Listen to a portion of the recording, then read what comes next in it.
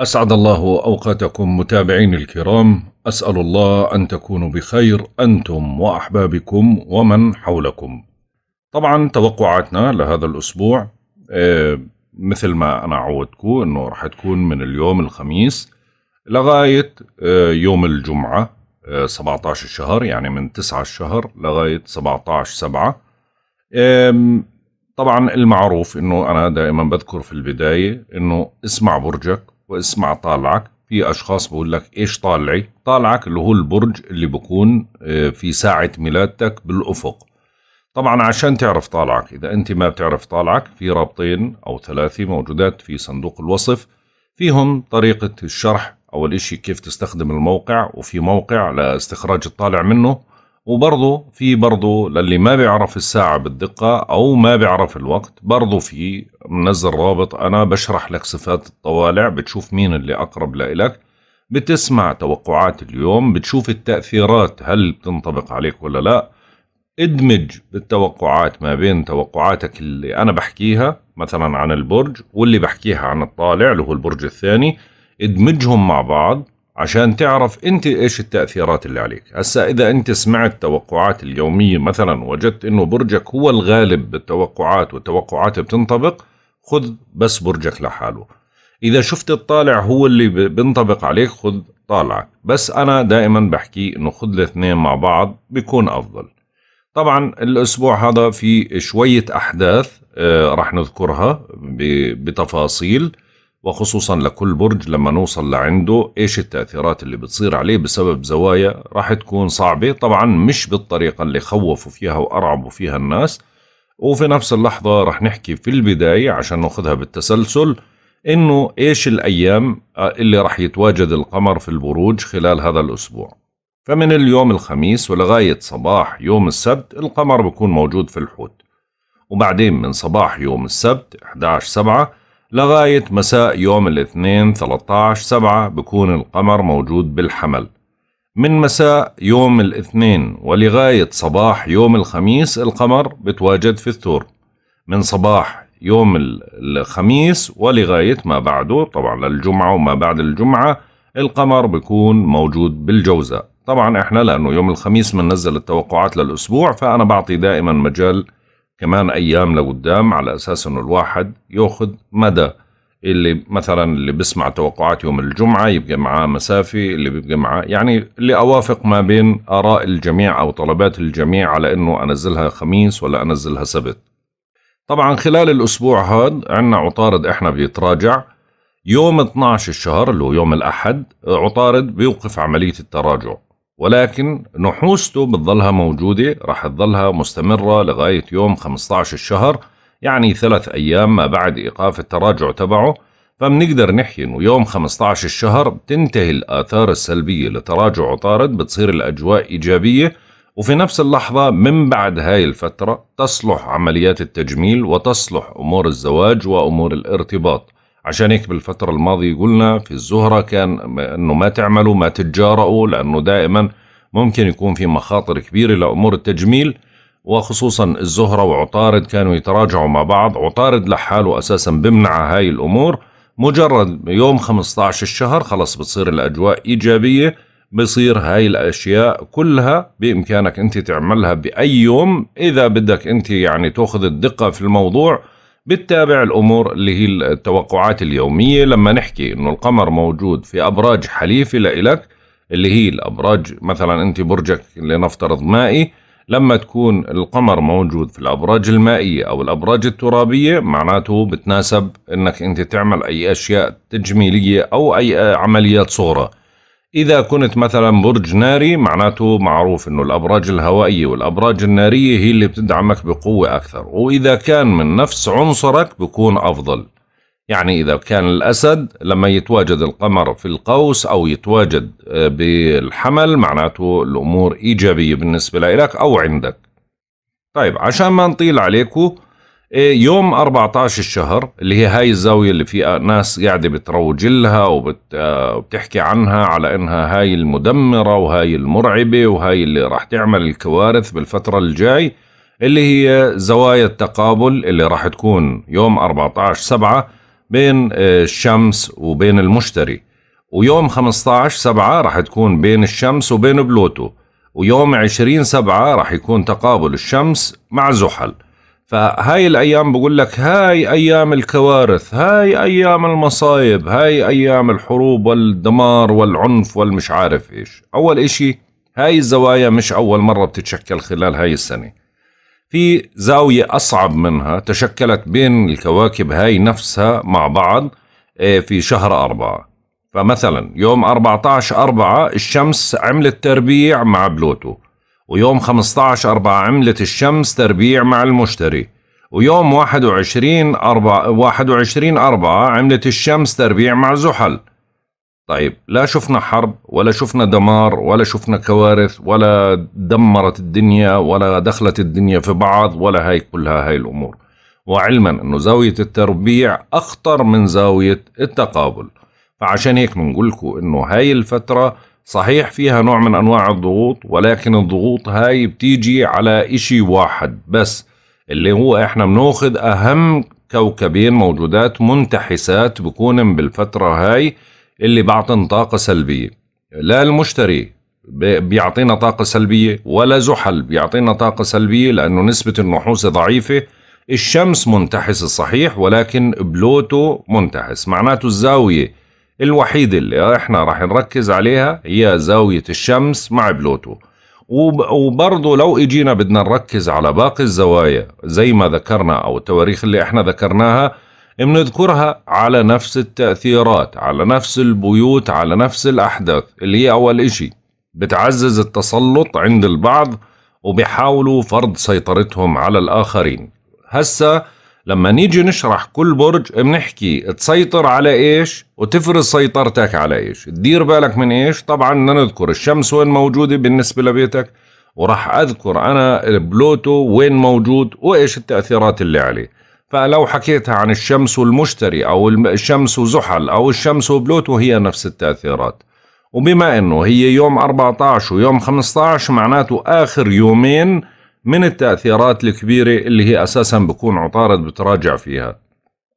دوليا ممكن يكون فيها نوع من أنواع يعني ثور أعمال عنف آه، قرع لا أهداء يعني آه، يعني أمور لها علاقة بالتهديدات أو التصعيد للأمور المواجهة أو العنف أو الأشياء هاي ولكن ما بتدل على حرب. يعني ما بتدل على حرب إنها تستمر أسبوع أو شهر. فهمتوا علي؟ لأنه هاي تأثيراتها يعني أقصى حد لها خمس أيام. خمس أيام قبل الحلقة أنتم شايفين الوضع ماشي مشحون الأمور سياسيا في بعض الدول ولكن ما بتعطينا اللي هي رابط إنه هاي إلها حرب. الآن هم أخذوها على جانب إيش؟ أخذوها على جانب إنه آه والله هيها في ليبيا معناته بدها تدخل مصر معناته الحرب طاحنة. ما حرب ضروس بدها تصير في ليبيا. طيب يا عمي انت بتحكي هيك بس الفلك بيحكي إشي عكس اللي انت قاعد بتحكيه. إذا أنت فلكي بدك تجرد حالك من الأخبار تجرد حالك من الأوضاع السياسية عشان توقعاتك تكون منطقية وصادقة. تخلط الدنيا في بعض أخبار وسياسة وتحليل أشخاص وتحليلك أنت وتربطها للفلك هيك أنت قاعد بتكذب. وصلت المعلومة؟ يعني في الأيام هاي ممكن تحتد الأمور في بعض الدول ممكن تظهر بعض القلاقل في بعض الدول أو التهديدات لبعض الدول ولكن بترجع بتخفت بعد خمس أيام. يعني بتستمر ما قبل بخمس أيام وبعد بخمس أيام يعني مدتها عشر أيام فقط لا غير. فهاي ما أعتقد أنه هي حرب طويلة وحرب ضروس رح تكون في خلال عشر أيام. وفي نفس اللحظة ما في أساسا إشي يظهر لأمور إلها علاقة بهاي الأمور. ممكن يصير في تقلبات على المستوى المالي أو المستوى الاقتصادي أو ظهور بعض المشاكل الاقتصادية أو السياسية. لا إلها علاقة لا بفيروس ولا بكورونا ولا تجدد مش عارف إيش ولا هاي كل الأمور. وصلت؟ خلينا نروح على توقعاتنا الأسبوعية لكل برج على حدة ونشوف إن شاء الله إنه بحاول قدر الإمكان إني أنا أركز على أساس إني أوصل لكم المعلومة بكل بساطة للكل يستفيد منها. خلينا نروح على التوقعات. برج السرطان. طبعا أول إشي رح نحكي عن الشمس. وعطارد اللي موجودة عندك ولسه ما اكتسفت اكتسبت عفوا كل الطاقة منها لأنه أول إشي منتحسة واثنين أنه عطارد اللي بيتراجع عندك والزاوية اللي راح تتشكل ما بين بلوتو والمشتري وزحل. فعشان هيك أول شيء هاي بتعمل تقلبات على المستوى الشخصي على المستوى النفسي بتشحنك بطاقة سلبية أو بتدخلك في مراحل زي الاكتئاب أو عدم يعني المبالاة أو بتحب إنك تمشي أيامك بشكل روتيني. يعني في نوع من أنواع الضغط أو الإحساس بإنه في إشي غلط قاعد بصير. طبعا هو مش إشي غلط هاي أشياء بتمتحن قدراتك وبتصفي قاعدة في أشياء إلها علاقة بوضعك. أهم إشي إنك ما تستسلم لهاي الأمور وسيطر على عصبيتك بسبب تأثيرات الزوايا لأنه هاي تأثيرات الزوايا رح تخليك عصبي جدا. تحاول إنك أنت تتهكم أو تفرض سلطتك أو تعصب على الأشخاص اللي حواليك. بدك تمسك عصبيتك قدر الإمكان. أما بالنسبة للزهرة طبعا موجودة في بيتك 12 وبتدعمك يعني بقوة على مستوى يعني حماية ربانية بتجيك كأنه إشي بنشلك أو بساعدك من ضيق أو من مصاعب أو من ضغوطات. طبعا الزهرة مش هي اللي بتقدم لك هي يعني بتكون سبب في الموضوع. فعشان هيك بتشعر في إشي بحميك أو بح يعني أو أو توعكات صحية بتختفي بسرعة بتتعالج من الأمور. ممكن تشعر بتعب للحظة بعدين فجأة تلاقي الأمور تغيرت بشكل إيجابي. يعني في نوع من أنواع الدعم بيجيك بشكل خفي. أما بالنسبة للبيت السابع اللي هو بيت الشراكة المالية والعاطفية وبيت الأزواج تحديدا فهذا طبعا بما أنه الزوايا هاي راح تتشكل وهي هذا البيت اللي هو الجدي اللي موجود في المشتري وزحل وبلوتو وبتراجع والزوايا معناته هنا بتحاول إنك أنت تعصب أو تفرض سلطتك أو تتحكم بالزوج أو بالشريك بالفترة هاي أو بتجيك النزعة هاي أو الرغبة هاي حاول إنك أنت تمسكها وما تثير المشاكل بشكل مبالغ فيه أو تصل لحسم أمور بشكل متسرع. ممكن تكون عواقبها وخيمة زي أمور الانفصال. ما تفكر في هاي الأمور لأنه هذا ضغط سلبي قاعد بيجيك من تأثيرات الكواكب. أما بالنسبة للبيت العاشر طبعا المريخ موجود فيه فعشان هيك هذا بيت السمعة. ما تشوه سمعتك ما تدخل بأشياء مشبوهة ما تخالف القوانين وما تغامر بالفترة هاي. ممكن تدعمك أو تخليك تدخل على أشخاص أصحاب مناصب بجراءة عالية جدا. ممكن تدخل بمواجهة آه، مع زميل لك بالعمل أو تحاول تفرض سلطتك عليه أو على رؤسائك بالعمل وتواجه أو تكشف ملفات. حاول أنك ما تندفع بدون دليل وبدون ما يكون في إيدك برهان. أما بالنسبة لنبتون طبعا موجود في البيت التاسع فهو اللي بيعمل مخاوف أو بيعمل وسوسات أو القلق على أشخاص خارج البلاد أو من امتحان أو من تجربة معينة أو هل أنت بتقدر تنجز هذا الإشي ولا لا. يعني هو بيعمل نوع من أنواع المخاوف بسبب تراجعه وبسبب السلبية اللي ببثها. أما بالنسبة لبيتك 11 بيت الأصدقاء فطبعا أورانوس هو اللي بيحدث المفاجآت فممكن يظهروا بعض الأصدقاء بشكل مفاجئ وممكن يختفي أصدقاء بشكل مفاجئ.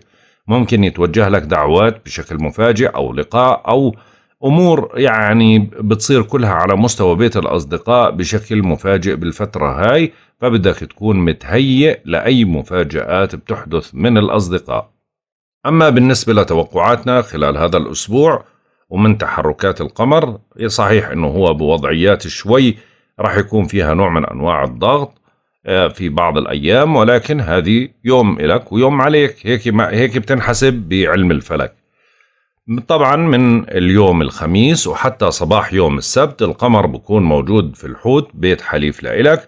فعشان هيك يعني شوي الأمور بتكون جيدة وبتدعمك على بعض المسائل اللي إلها علاقة بأمور يعني شوي ب ما بين أمور إلها علاقة بالسفر أو الاتصالات البعيدة أو التواصل مع أشخاص خارج البلاد أو الاهتمام بمسائل مالية مشتركة أو أمور إلها علاقة بالامتحانات أو أشياء إلها علاقة ببعض الأمور اللي إلها علاقة بدراسة أو ثقافة أو لغة أو نقاشات. يعني بتدعمك بكل الاتجاهات. هاي ممكن تخوض تجربة مطمنة أو جديدة ممكن تتلقى جواب إيجابي أو تفرح بأمور لها علاقة بالسفر أو عقد ناجح. ممكن تصادف دعم وتشجيع. أهم إشي إنك ما تقف متفرج وحاول إنك تنطلق وتستغل الفرص. من صباح يوم السبت وحتى مساء يوم الاثنين القمر بصير موجود في الحمل. فعشان هيك بتظل الفرص متاحة للأشخاص اللي بيبحثوا عن عمل واللي بيعمل بينجح في إثبات جدارته للمسؤولين. حافظ على إنجازاتك القائمة إذا ونظم وقتك بشكل جيد واحترم المواعيد. هاي يعني الفترة فيها بتتطلب منك الدقة والمتابعة عشان هيك بدك تحضر بشكل جيد وما ترتجل. من مساء يوم الاثنين وحتى صباح يوم الخميس القمر بصير موجود في الثور. فعشان هيك آه، تسعدوا بلقاء الأصدقاء وتعاونهم معكم. ممكن يفاجئكم أحدهم بتصرفاته أو طلباته. بترافقك رياح مواتية رغم الضغوطات. كرر المحاولة إذا أردت الدعم والتأييد. فترة مناسبة للانضمام إلى جمعية أو مؤسسة بتتلاقى مع طموحاتك. من صباح يوم الخميس طبعا والأيام اللي بعديها الجو ما راح يكون مناسب لإلك لأنه القمر بصير موجود في بيت المتاعب في الجوزاء فعشان هيك بنال التعب منكم. ضعوا سلم الأولويات للعمل الضروري والعاجل وانتبهوا كثير إلى غذائكم وراحتكم بشير القمر إلى ركود وتأخير في سير الأمور. حاذر من التراجع الصحي والمعنوي. استرح بعيد عن الأضواء وما تختلق أعذار للهرب من المسؤوليات والمهمات.